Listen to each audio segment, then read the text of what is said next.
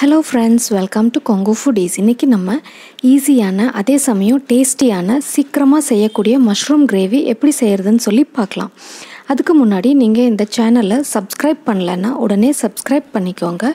கூடவே பெல் ஐக்கானையும் ப்ரெஸ் பண்ணிக்கோங்க.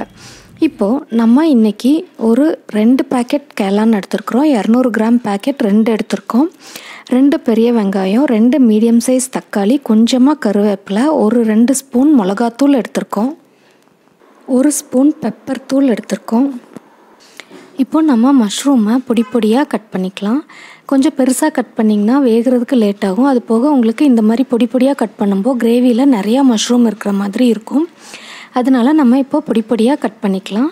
நான் ஆல்ரெடி ஒரு பாத்திரத்தில் தண்ணி ஊற்றி அதில் உப்பு போட்டு வச்சுருக்கேன். அதில் நம்ம மஷ்ரூமை போட்டுக்கலாம்.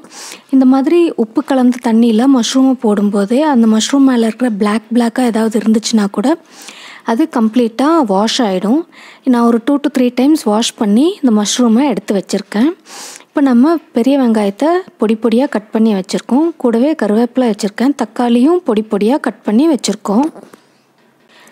ஒரு கடாயை அடுப்பில் வச்சு ஒரு மூணு டேபிள் ஸ்பூன் அளவுக்கு எண்ணெய் ஊற்றிக்கலாம் எண்ணெய் நல்லா காஞ்சதுமே ஒரு அரை டீஸ்பூன் கடுகு போட்டுக்கலாம். கடுகு நல்லா வெடித்து வரும்போது நம்ம கட் பண்ணி வச்சுருக்கிற வெங்காயத்தை சேர்த்திக்கலாம். கூடவே நான் கருவேப்பிலையும் அது கூட சேர்த்திட்டேன். இந்த வெங்காயத்தை நல்லா வணக்கி விட்டுக்கலாம். நான் இன்றைக்கி மிளகா எதுவுமே போடலைங்க. மிளகாத்தூள் மட்டும்தான் சேர்த்துறேன். இப்போது நம்ம வெங்காயம் நல்லா வணங்கிடுச்சு. கட் பண்ணி வச்சுருக்கிற தக்காளியை அது கூட சேர்த்திக்கலாம். சேர்த்து நல்லா வணக்கி விட்டுக்கலாம். கூடவே ஒரு அரை ஸ்பூன் உப்பு. இந்த தக்காளி நல்லா வேகிறதுக்காக இப்போவே போட்டுடலாம். நம்ம தக்காளி கூட உப்பு போடும்போது தக்காளி கொஞ்சம் சீக்கிரமாக வேகும். இது ஒரு டூ மினிட்ஸ் நல்லா வணக்கிக்கலாம். தக்காளி இப்போது நல்லா வெந்துருச்சு. இப்போ நம்ம இந்த கிரேவிக்கு தேவையான மிளகாத்தூள் போட்டுக்கலாம். நான் இன்றைக்கி ரெண்டு ஸ்பூன் மிளகாத்தூள் போட்டிருக்கேங்க. நீங்கள் உங்கள் வீட்டு காரத்துக்கு தகுந்த மாதிரி போட்டுக்கோங்க. நம்ம இன்றைக்கி மிளகாத்தூளும் பெப்பரும் மட்டும்தான் போட்டு செய்கிறோம் இப்போ இந்த மிளகாத்தூள் தக்காளி வெங்காயம் எல்லாமே கம்ப்ளீட்டாக மிக்ஸ் ஆகிடுச்சு இப்போ நம்ம கட் பண்ணி வாஷ் பண்ணி வச்சுருக்கிற மஷ்ரூமை அது கூட சேர்த்திக்கலாம். இப்போ நம்ம இந்த கிரேவிக்கு தேவையான அளவு உப்பு சேர்த்திக்கலாம். நம்ம ஆல்ரெடி தக்காளி வேக வைக்கும்போது கொஞ்சமாக உப்பு போட்டிருக்கோம். அதனால இப்போது கொஞ்சம் தேவையான அளவு சேர்த்திக்கலாம். இப்போது நம்ம கிரேவியை நல்லா மிக்ஸ் பண்ணி விட்டுக்கலாம். மஷ்ரூம் அந்த தக்காளி எல்லாமே கம்ப்ளீட்டாக மிக்ஸ் ஆகிற மாதிரி நல்லா கலக்கி விட்டுக்கலாம். மஷ்ரூம் வந்து உங்களுக்கு தண்ணி விடும். அதனால் நம்ம தண்ணி வந்துட்டு நிறையா சேர்த்த வேண்டாம். ஒரு ஒரு டம்ளர் அளவுக்கு சேர்த்திக்கலாம். இப்போ பார்த்திங்கன்னா இது வந்து மஷ்ரூம்லேருந்து வந்த தண்ணி. இப்போ நம்ம கூட ஒரு ஹண்ட்ரட் எம்எல் அளவுக்கு தண்ணி ஆட் பண்ணிக்கலாம். சேர்த்து நம்ம ஒரு மீடியம் ஃப்ளேமில் ஒரு டென் மினிட்ஸ் வச்சு வேக வச்சுக்கலாங்க. இப்போ மூடி போட்டு க்ளோஸ் பண்ணிடலாம்.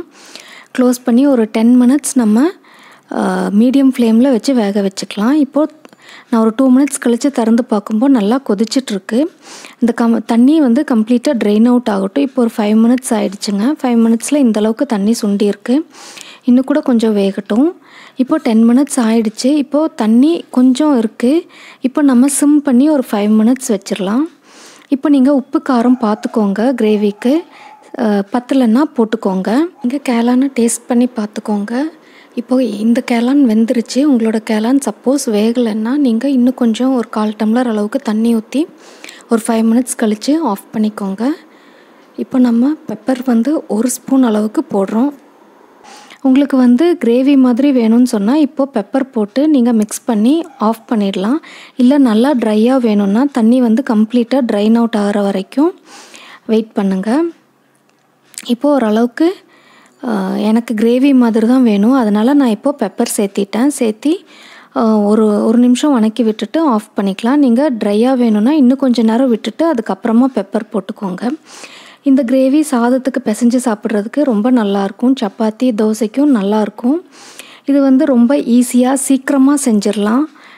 இந்த மாதிரி செஞ்சு பாருங்கள் டெய்லி குழம்பு ரசம் சாம்பார் இந்த மாதிரி சாப்பிட்றதுக்கு ஒரு நாள் இந்த மாதிரி டிஃப்ரெண்ட்டாக சாப்பிட்டா நல்லாயிருக்கும் செஞ்சு பார்த்துட்டு உங்களோட ஃபீட்பேக்ஸை சொல்லுங்கள் உங்களுக்கு இந்த வீடியோ பிடிச்சிருந்துச்சுன்னா லைக் பண்ணுங்கள் ஷேர் பண்ணுங்கள் மறக்காமல் சப்ஸ்கிரைப் பண்ணுங்கள் நோட்டிஃபிகேஷன்ஸ்க்கு நீங்கள் பெல் ஐக்கானை ப்ரெஸ் பண்ணுங்கள் தேங்க்யூ